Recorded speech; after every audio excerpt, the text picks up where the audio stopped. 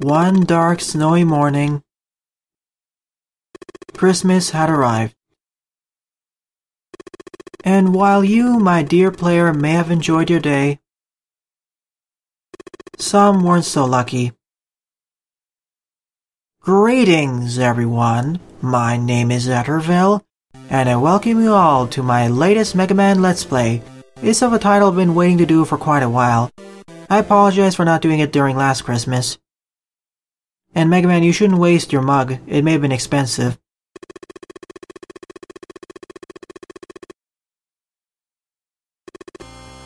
So much for this Christmas going without a hitch.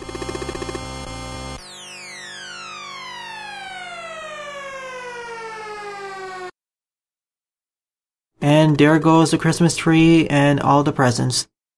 Nice touch with all the sprite animations.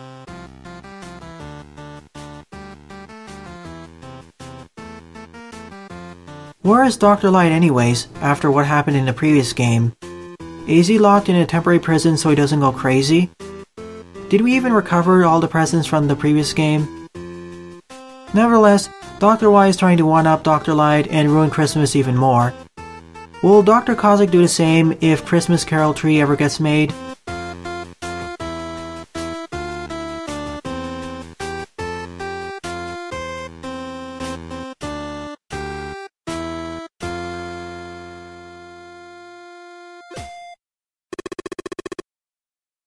Meanwhile, in one of Dr. Wily's many bases,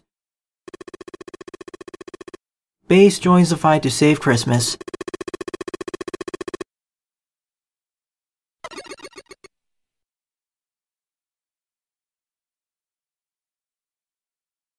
I welcome you all to my Let's Play of Mega Man Christmas Carol 2, How Dr. Wily Stole Christmas, a Christmas-themed Mega Man Classic fan game developed by ACESpark slash Pinkie Pie. I've been meaning to let's play this game for quite a while as I just said, so let's get started. You can set up a profile name, which I will do. This game has no save data, so once you start a game, make sure you finish it. It's not that long though, you can complete it in under 20 or 30 minutes. Even 10 to 15 minutes if really skilled. Anyways, we have four difficulty settings, baby mode, easy mode, normal mode, and hard mode.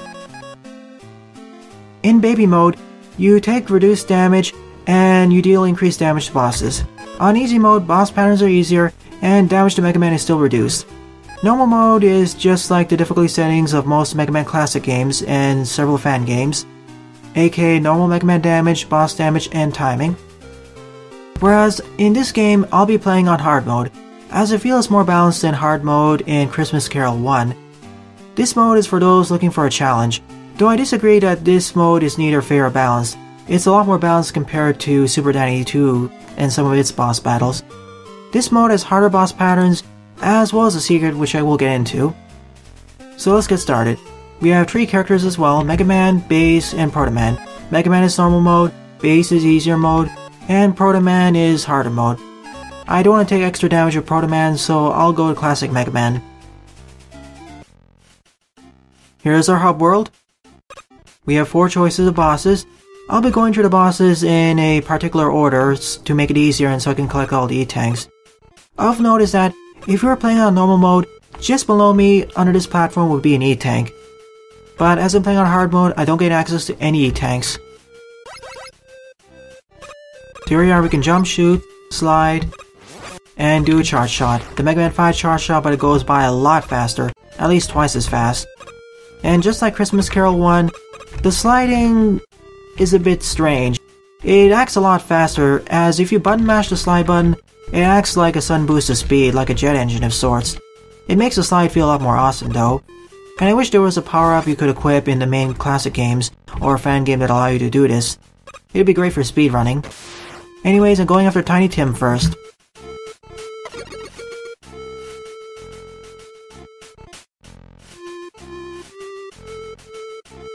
His E-Tank is easiest to get. Just open up your menu, get the Rush Coil, and jump over here. Here's our main menu, we have our overall score, E-Tanks, W-Tanks, Beat Whistles, and the exit utility, which allows us to return back to stage select, but we can't use it during boss battles. We start off with the Mega Buster and Rush Coil. I'm starting off with Tiny Tim and Bob Cratchit, as out of the first four bosses, he's the easiest one to deal with.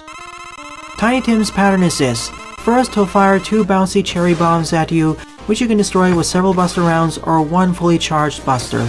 After that, Bob Cratchit will fire his fist at the wall, and you need to jump on top of it to jump over Bob Cratchit. Although, somehow I was able to jump over him without it. Then you need to repeat the pattern from the other side of the room. Very set pattern, and not much differences when you go to a harder difficulty setting, outside of him getting a bit faster. It also seems that the boss invulnerability frames are shorter. Nevertheless, that was Tiny Tim.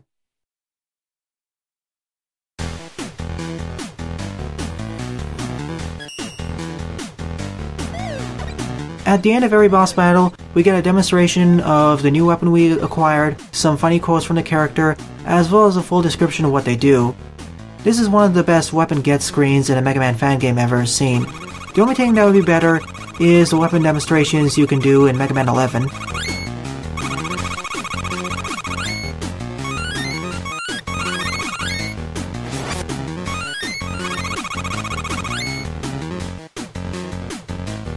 I'll go over the score descriptions after the next boss battle.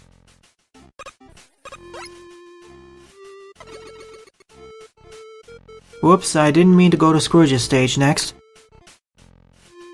So this is a nice demonstration of how to use the exit utility. Though for some reason you have to use it twice before it actually works. I'm not sure why.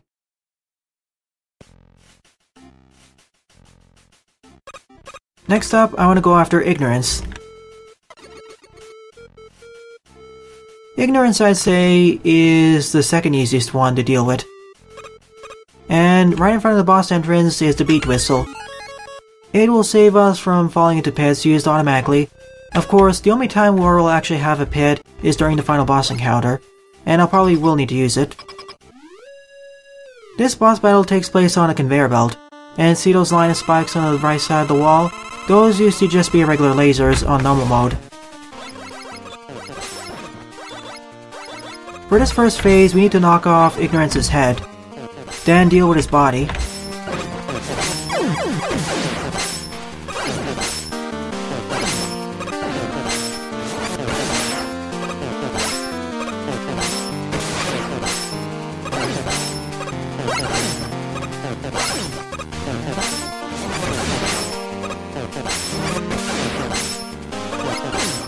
Once he reaches half health, the conveyor belt switches directions and he stays still over here, firing all these shockwaves. And that's it. Very straightforward in fact.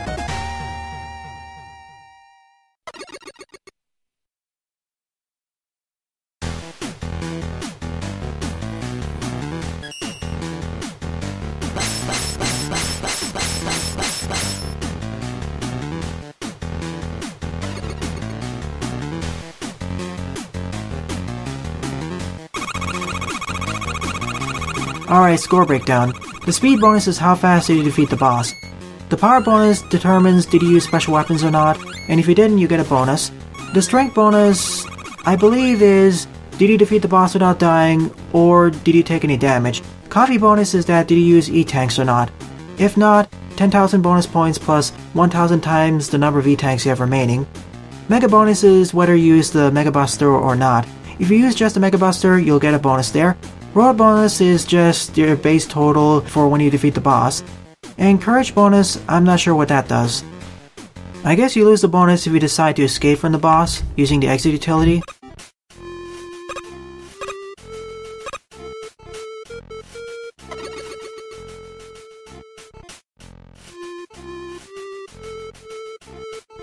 The reason why I wanted to deal with ignorance first is that in order to collect this W tank, I need to hit all these three targets at once, otherwise they will regenerate.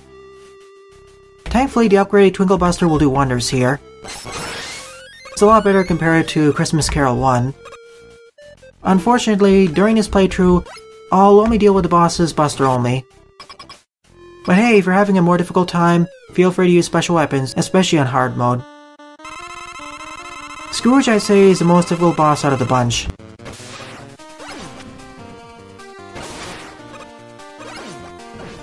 especially as he has a Grab Buster-like ability.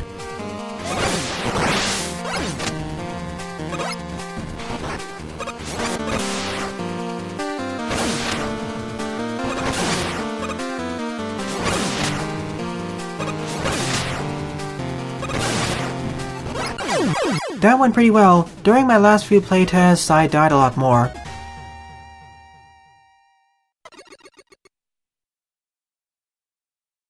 You just need to get used to how he just jumps over you when you try firing a projectile at him, and use that to manipulate when you can slide under him.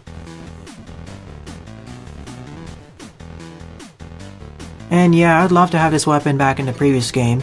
Oh well, better late than never. Especially with the existence of Christmas Carol 1 Remix, which I will cover during the next Christmas.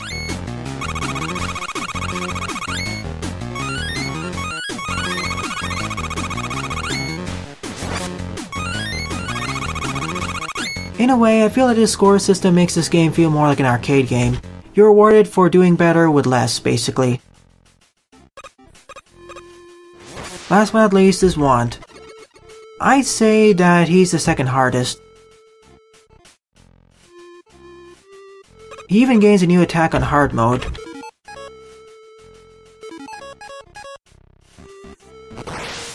And here's the last E-Tank. Hopefully I won't need to use it during the final boss encounter. Makes sense why he's called Want. Look at all this cake everywhere. Cake and candy canes. Want's pattern is this. He'll jump around the room, try striking you with his candy cane, which on hard mode creates shockwaves, and after he takes enough damage, the threshold of which decreases on harder difficulty settings, he'll start throwing his candy cane at you at a high speed. That thrown candy cane can deflect your shots. You also have to worry about the explosive candy canes falling from the ceiling.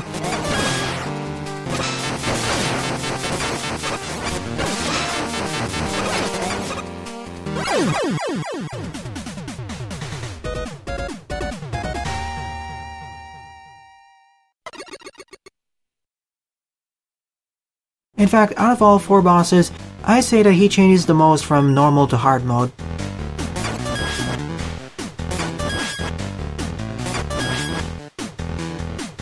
This is certainly useful during the final boss encounter, but I won't use it, especially as they can stack sideways off of each other, as demonstrated here. Once again, I wish more fan games had this level information during the weapon get screen, or even better, Mega Man 11's weapon get screen.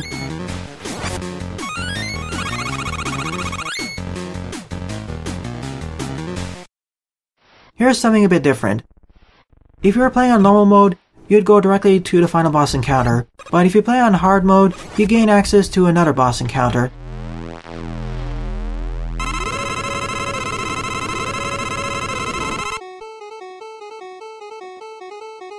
Yep, it's a devil boss. Thankfully you have access to sliding, so it isn't too bad.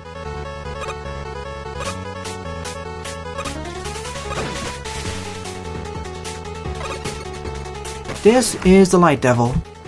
And honestly, I wouldn't say this is difficult. In fact, I say that Ignorance and Scrooge are more difficult.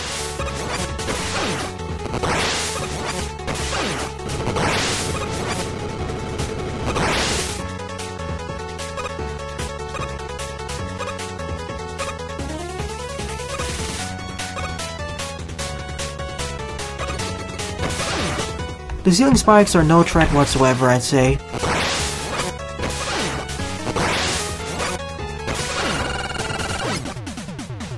If you decide to do this boss battle buster only, you can complete it in just two cycles. If you decide to use his weakness, you can do it in just one cycle.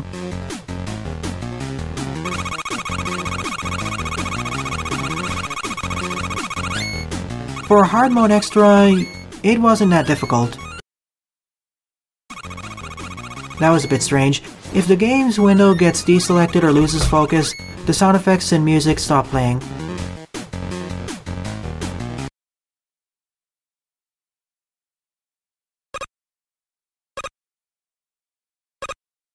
Here is the final stage.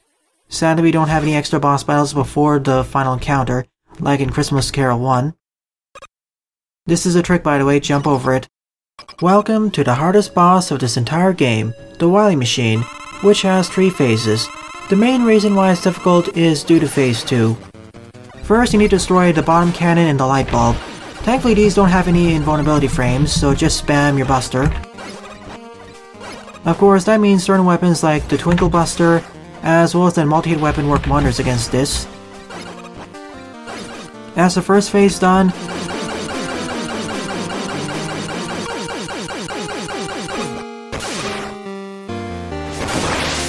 This Christmas tree will continuously keep spawning these presents down.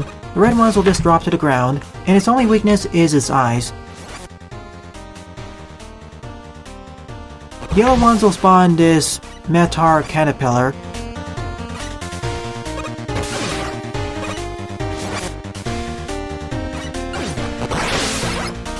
The purple ones will hit the left side of the screen and release these penguins.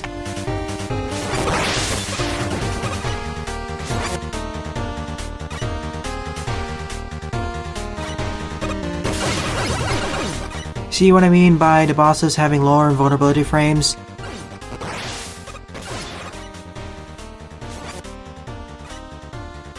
I first want to dispatch this caterpillar before I move to the next part of this boss battle.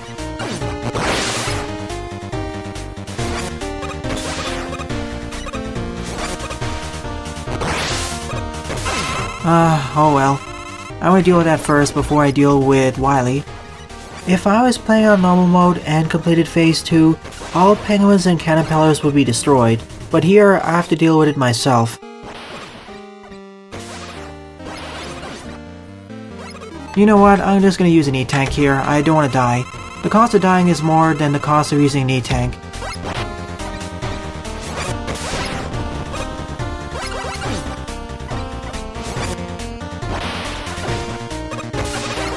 This is the final phase of the boss battle by the way.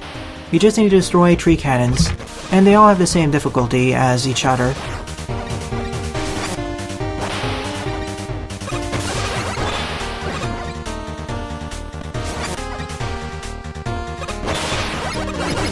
And that's it. That was the Wily machine. All things considered, this boss only had three phases.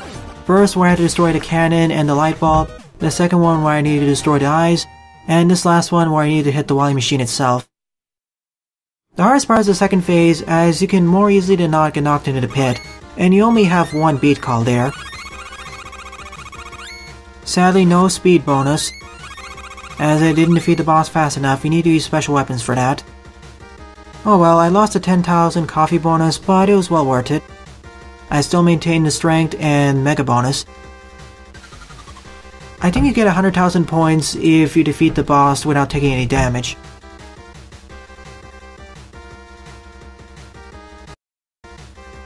Sadly, I can't submit my scores online, it breaks. Thank you, Random Rock. Dr. Wily escapes with the presents.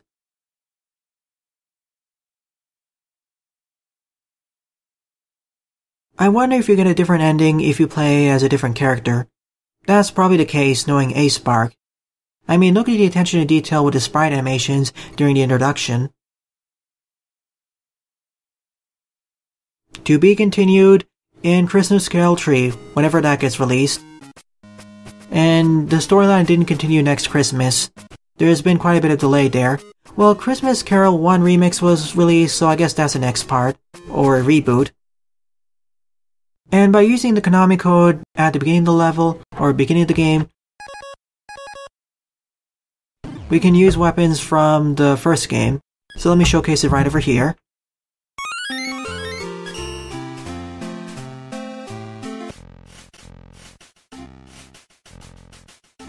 Sadly, you can't open up the menu in the stage select screen.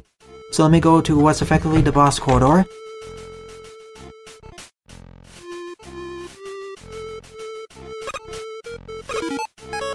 By completing the game on hard mode, the Konami code unlocks access to all the special weapons from the first game and this game. If you completed the game on normal mode, the Konami code only unlock weapons from this game. So we have Marley Shackle, Present Surprise, Past Minion, and Future Slicer.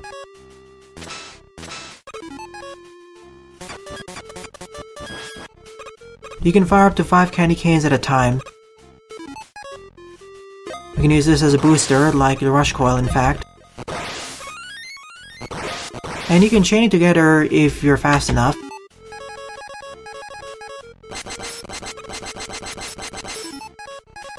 Here's past minion.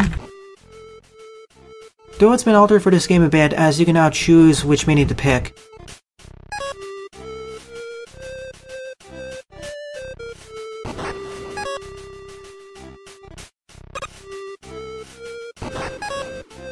We'll have the same abilities in Christmas Carol 1 Remix.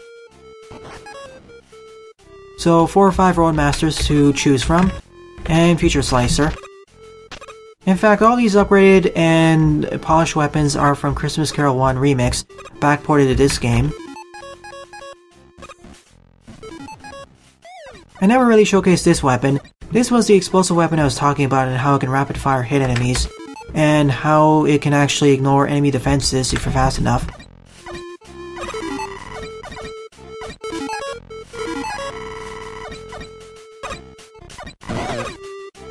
And that's about it. There is one last thing I wanted to talk about. There are a whole bunch of other secrets that are present in this game with the achievements, and I only unlocked one or two of them. In order to see the actual hints, you need to mouse over it, so let's see, selection, who needs a menu? I suppose what that means is that you're supposed to complete the game without opening up the menu whatsoever. And if you want to switch special weapons, you have to use the numbers on your keyboard. Scrooge 1, Angel of Debt, Want 1, I Need No Humbug. Strange, it means that I have to use the humbug some way. Scrooge 2, Recreating Dickens' novel. Want 2, Cherry on Top. I guess we need to drop that cherry somehow.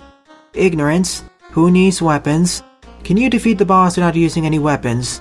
And Wily, relight the tree. So set it on fire. With Solar Man, that'll work that way.